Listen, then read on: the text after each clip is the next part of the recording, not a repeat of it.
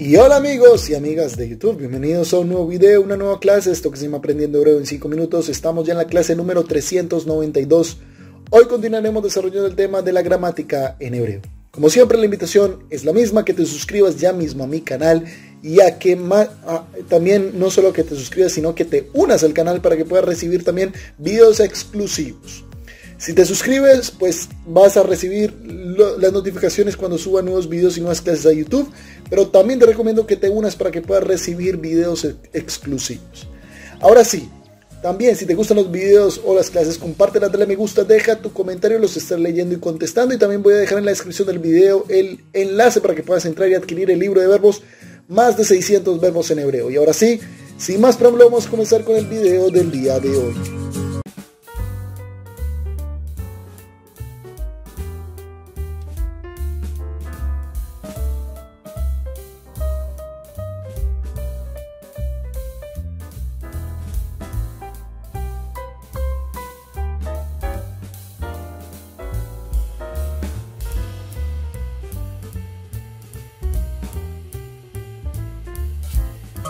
Rápidamente, ¿qué vamos a ver el día de hoy? Vamos a ver la gramática en hebreo. Ok, la gramática en hebreo, eh, cómo leer en hebreo y vamos a ver un texto en hebreo. Vamos a leer en hebreo, vamos a ver el diccionario de palabras desconocidas y también la frase del día. Comenzamos entonces con el tema del día de hoy. Hoy vamos a leer un texto, vamos a, a, empezar a leer un cuento, vamos a leer una historia, ¿sí? Como lo hemos hecho en otras clases, hoy vamos a hacer lo mismo. Vamos a intentar leer y entender qué es lo que nos dice el texto. Vamos a intentar hacerlo sin ningún tipo de eh, puntos ni rayas, o sea, sin ningún tipo de sistema de Nikud. El Nikud, antes, antes que, que, vayamos a empezar, quiero explicar qué significa esto. El Nikud, el sistema de Nikud, que es el sistema de puntos y rayas, es el sistema de vocales en hebreo. O sea, yo había explicado que en las últimas clases que en el hebreo no existen las vocales. ¿Cómo así? No existen físicamente las vocales. Obviamente en el sonido sí, es, sí existen, pero en la forma de escritura no existen. Es decir, si no existen cuando uno las escribe, pues entonces tampoco existen cuando se leen. ¿Ok? Ahora, entonces, ¿qué es lo que se hace? Normalmente se eh, utiliza un sistema llamado Nikud, que es un sistema de puntos y rayas que simbolizan ¿sí? Las eh, vocales, cualquiera sean ellas, en una palabra para quienes están aprendiendo hebreo. Normalmente esto se, utiliza solo en textos de libros de aprendizaje o también en la Biblia, que como lo venía yo diciendo anteriormente en videos anteriores, la Biblia utiliza este sistema para, porque es, se utiliza un hebreo antiguo, no es un hebreo moderno, sino que es un hebreo antiguo, que, cuyo, em, digamos, estructura puede ser diferente. Por lo tanto, eso es lo que se utiliza. Ahora sí, nosotros no vamos a utilizar ni puntos ni rayas, aquí vamos a comenzar a leer en forma, a intentar leer un texto, un pequeño texto que he traído en el día de hoy. El nombre del texto del día de hoy se llama Marak Shel Hamarak.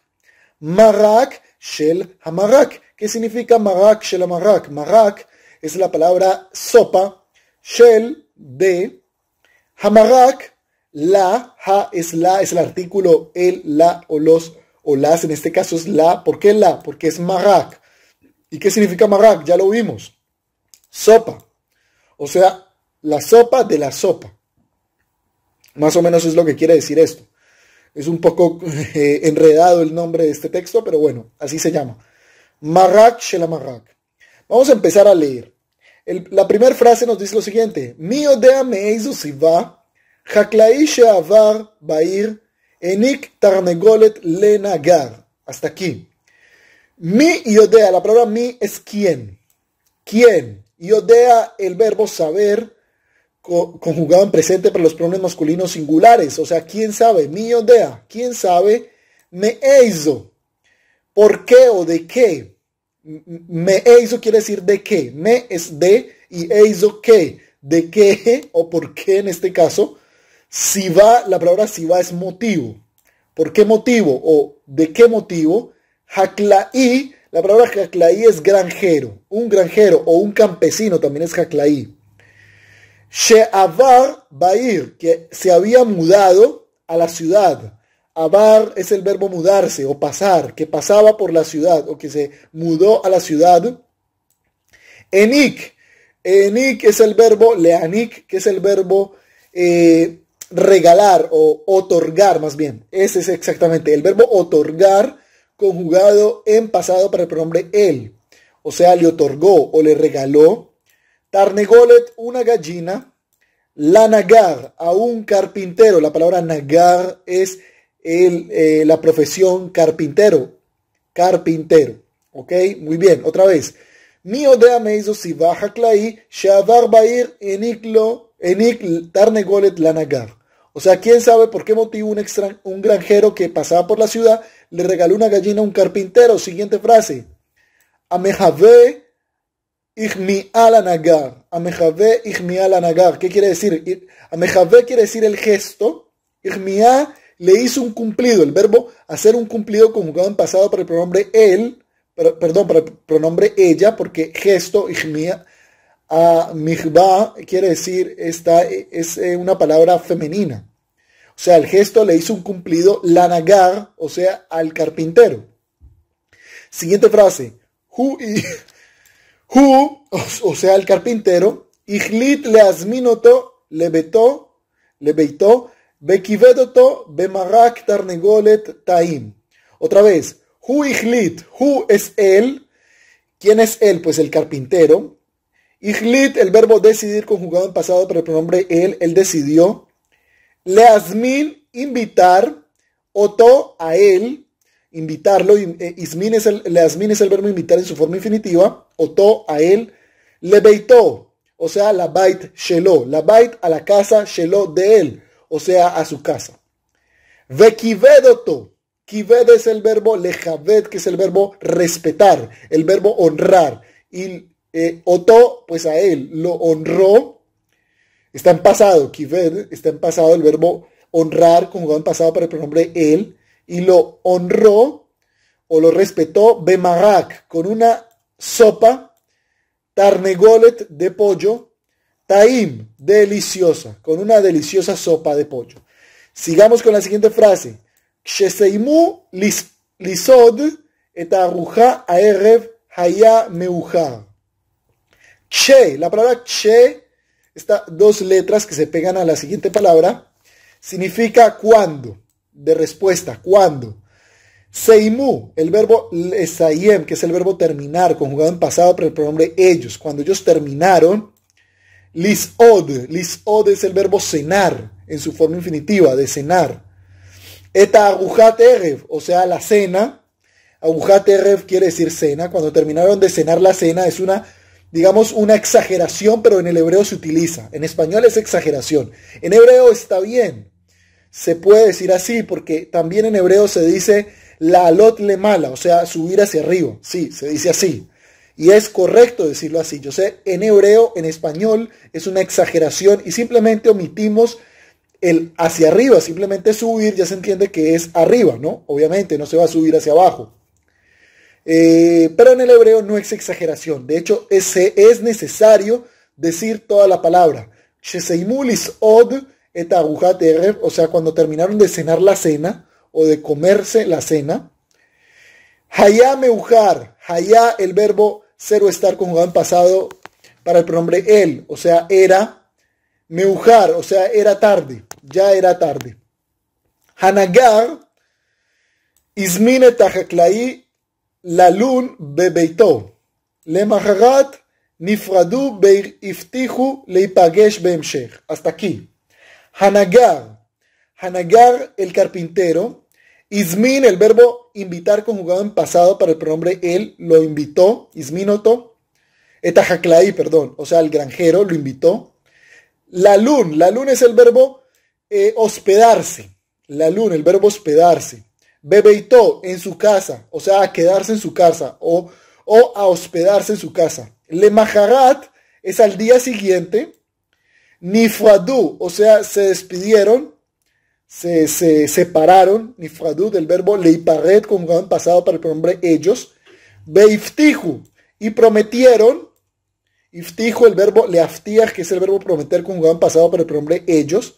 Leipagesh, el verbo eh, encontrarse conjugado, perdón, en su forma infinitiva. Beimshech, o sea, más tarde, o sea, verse más tarde. Havru pachot mi esrim ve arba shaot ומישהו דפק בדלת של הנהגה. Avru. Avru es el verbo pasar conjugado en pasado para el pronombre ellos. Pasaron. ¿Por qué ellos pasaron? Porque pasaron pajot menos mish esrim ve'arba shaot. O sea, menos de 24 horas. Vemishu y alguien, dafak es el, el verbo tocar o llamar a la puerta, conjugado en pasado para el pronombre él. Alguien llamó. Badelet a la puerta, o sea, tocó la puerta. Shelanagar, del carpintero. Hu patach et adelet bematzah me'avara et benei ahaklai she'izdamnu lair. Otra vez. Hu o sea, él abrió. Pataj, el verbo abrir conjugado en pasado para el pronombre él. Él abrió. ¿Qué abrió? Etadelet, la puerta. Vematzah, el verbo encontrar conjugado en pasado para él y encontró, me avará, o sea, del otro lado, o sea, meever la delet, me avará, al otro lado, et benei, benei, a los hijos de, haklaí, o sea, del granjero, sheizdamnu, que estaban de paso, isdamnu, el verbo estar de paso, conjugado en pasado para el pronombre ellos, lair, o sea, por la ciudad, que estaban de paso por la ciudad, o que tenían la oportunidad de visitar la ciudad. rega bishel arbe be'arajotam keyad. O sea, rega, o sea, en el mismo momento, en ese mismo momento, en ese mismo instante. Bishel, el verbo levashel, el verbo cocinar, conjugado en pasado para el pronombre él, él cocinó. Harbe mucha comida. Ve'araj, el verbo araj es el verbo el verbo, em, eh, el, verbo el verbo entretener o el verbo también em, hospedar, más que todo, hospedar, conjugado en pasado para el pronombre él. Otam, a ellos los hospedó o los entretuvo, que Yad Amelech quiere decir como un rey Que Yad es como la mano y el y Hamelech es el rey, como la mano de un rey. O lo que quiere decir esto es como un rey. Otra vez, lo voy a leer todo ya completo. Dice, Marak shel Marak. מי יודע מאיזו סיבה חקלאי שעבר בעיר העניק תרנגולת לנגר. המחווה החמיאה לנגר. הוא החליט להזמין אותו לביתו וכיבד אותו במרק תרנגולת טעים. כשסיימו לסעוד את ארוחת הערב, היה מאוחר. הנגר הזמין את החקלאי ללון, ללון, פרדון, ללון בביתו. למחרת נפרדו והבטיחו להיפגש בהמשך. עברו פחות מ-24 שעות ומישהו דפק בדלת של הנגר. הוא פתח את הדלת ומצא מעברה את בני החקלאי שהזדמנו לעיר. באותו רגע בישל הרבה אוכל וערך אותם כיד המלך. Continuamos con el diccionario de palabras desconocidas, amigos. Y la primera palabra es Haklai. Haklai es un granjero o un campesino. Muchos granjeros. Una granjera o una campesina, Haklait. muchos granjeros, Haklaim. Y muchas granjeras, Haklayot. Haklai, Haklait, Haklaim, Haklayot. Siguiente palabra. Tarnegolet. Tarnegolet es una gallina. Y muchas gallinas, Tarnegolot. Tarnegolet, Tarnegolot. Tarnegolet, tarnegolot. Siguiente palabra, el verbo lisod. El verbo lisod es el verbo cenar. Ojo, cenar. Se utiliza, es para cenar, o sea, solo de noche. La comida de la noche. Que conjugado en todas sus formas en presente que de la siguiente manera. Soed para los pronombres masculinos singulares. Soed femeninos singulares. Soadim masculinos plurales y soadot femeninos plurales. Lisod, soed, soedet, soadim, soadot. Siguiente palabra, seudá. Seudá es una cena. ¿Ok? Seudá, cena. Viene siendo el nombre de la acción de este verbo. Y muchas seudot, muchas cenas o también comida, pero se refiere a la cena de la, o la comida de la noche. Seudá, seudot. seuda, seudot. Agujá, ojo, agujá ya es comida como tal, general, comida, el concepto de comida. Y muchas comidas, agujot, aguja, agujot. Y ojo con esta palabra, ogel, porque ogel también es comida, pero ya es una comida de algo físico, ya no como concepto, sino algo físico, comida o alimento. Y muchas, y ogel, ¿no? Ogel, porque es un concepto. Y la última palabra es lina. Lina es un alojamiento y muchos alojamientos linot. Lina, linot. Lina, linot. Finalizamos por el día de inocentes con la frase del día. Ha'adrijal hukmo yain tov. Kama sheyoter mevugar yoter tov. Ha'adrijal, el arquitecto. Hukmo yain tov. Es como el buen vino. Kama sheyoter mevugar, o sea, entre más viejo, yoter tov, o sea, mejor. Otra vez, ha'adrijal hukmo yain tov. Kama sheyoter mevugar, yoter tov. O sea, el arquitecto es como el buen vino, entre más viejo, mejor. Y muy bien amigos, me despido por el día y nos estamos reencontrando Dios mediante en el día de mañana con más de esto que se llama Aprendiendo Hebreo en 5 minutos. Y continuaremos desarrollando el tema de la, las historias en hebreo y también em, el tema de la gramática en hebreo.